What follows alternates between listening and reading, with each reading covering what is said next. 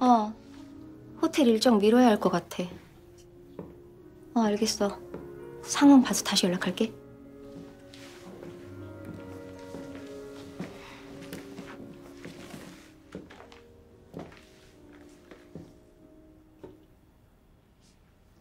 지금도 이런 집이 있나요? 네. 아직 남아있는 곳이 있습니다. 아, 그럼 여기서 묵을 수도 있어요?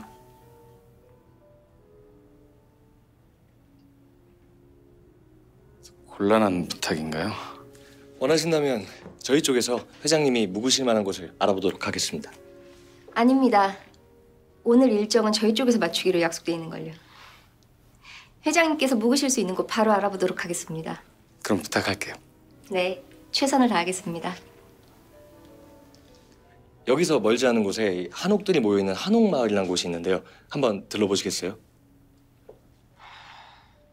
회장님께서 원하시면 함께 모시겠습니다.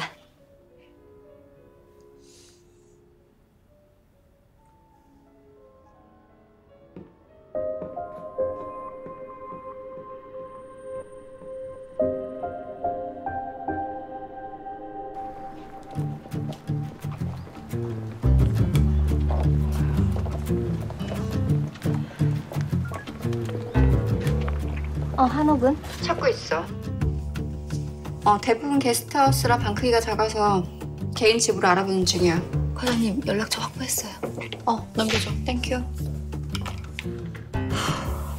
거긴 어때? 아니 명일 그 자식들은 진짜 상도가 없어. 씨. 명일에서 먼저 찾으면 안 되니까 일단 한옥 확보부터 빨리 해줘. 알겠어. fix되면 연락 줘. 여보세요? 김희욱 씨 보호자 되시죠?